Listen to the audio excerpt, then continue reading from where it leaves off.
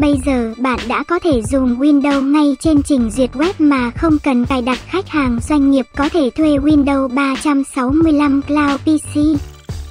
Công nghệ máy tính ảo điện toán đám mây cho phép chạy Windows 10 hoặc Windows 11 ngay trên trình duyệt web. Trải nghiệm Windows của bạn, trong đó có các ứng dụng Nội dung và cài đặt được cá nhân hóa từ đám mây Microsoft tới mọi thiết bị một cách an toàn bằng Windows 365 PC trên đám mây. Qua đó, dịch vụ này sẽ hỗ trợ quá trình làm việc từ xa của doanh nghiệp mang lại trải nghiệm PC ngay lập tức trên các thiết bị khác nhau.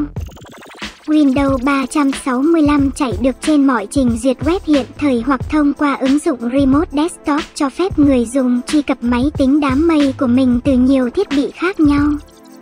Windows kết hợp cho thế giới, kết hợp Windows 365 kết hợp sức mạnh và độ bảo mật của đám mây với tính linh hoạt và sự đơn giản của PC. Từ nhà thầu và thực tập sinh đến nhà phát triển phần mềm và nhà thiết kế công nghiệp Windows 365 hỗ trợ nhiều kịch bản mới cho thế giới công việc mới.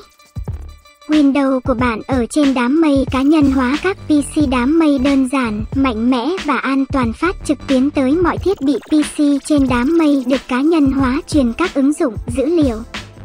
Nội dung và cài đặt của bạn từ đám mây Microsoft tới bất kỳ thiết bị nào. Đơn giản, mạnh mẽ và an toàn dễ dàng thiết lập và thay đổi quy mô của PC trên đám mây cho phù hợp với nhu cầu của bạn cũng như để hỗ trợ lực lượng lao động kết hợp của bạn một cách an toàn. Truyền tới mọi thiết bị tiếp tục tại nơi bạn đã tạm dừng. Trên mọi thiết bị và trải nghiệm những cơ hội mới cho công việc và hoạt động cộng tác. Microsoft cho biết với 31 use trên tháng nhưng doanh nghiệp có thể sử dụng phiên bản PC đám mây tương đương 22 CPU 4GB RAM 128GB bộ nhớ ngoài.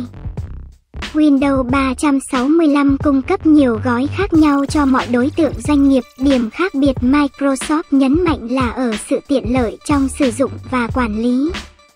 Chia sẻ hữu ích nhé!